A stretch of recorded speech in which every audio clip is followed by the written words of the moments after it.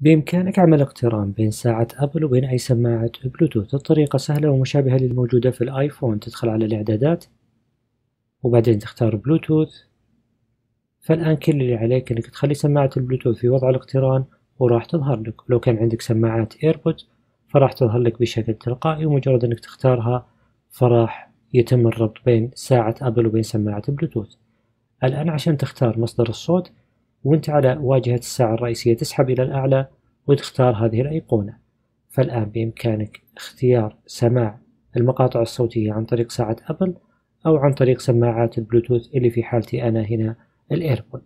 واللي حاب يعرف أكثر عن ساعة أبل أو عن سماعات أبل اللاسلكية الجديدة ال AirPod راح أحط لكم روابط في وصف الفيديو تحت. يعطيكم العافية ونشوفكم مع فيديو قادم.